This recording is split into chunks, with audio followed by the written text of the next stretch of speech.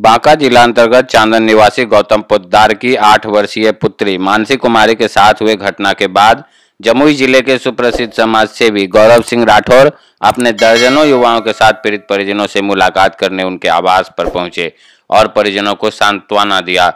साथ ही पीड़ित परिवार के लोगों को 10 लाख मुआवजा देने की मांग की। वहीं मौके पर मौजूद प्रखंड विकास पदाधिकारी ने हर संभव मदद का आश्वासन देते हुए मुआवजा देने का निर्देश जारी कर दिया है। बताते चले कि इस कांड में शामिल तीन आरोपी को बांका पुलिस ने गिरफ़्तार कर लिया है और आरोपियों की गिरफ्तारी के लिए छापेमारी की जा रही है। इधर गौरव सिंह राठौर ने कहा कि अगर पीड़ित परिवार को न्याय नहीं मिला तो नवयुवक संघ की ओर से प्रखंड कार्यालय का घेराव किया जाएगा।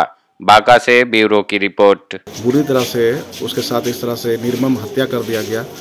उसके साथ गैंग रेप करके काफ़ी चिंतनीय विषय है माननीय मुख्यमंत्री जी के लिए खासकर, जहाँ बेटी पढ़ाओ, बेटी बढ़ाओ का नारा देती है सरकार डबल इंजन की सरकार, वहीं बेटी पर अत्याचार होता है और बेटियों को मुँह बंद करके उसके साथ बलात्कार किया जाता है और उसके साथ फिर उस पर हत्या कर जाती है। निर्मम हत्या, आँखें भी फोड़ दी जाती है।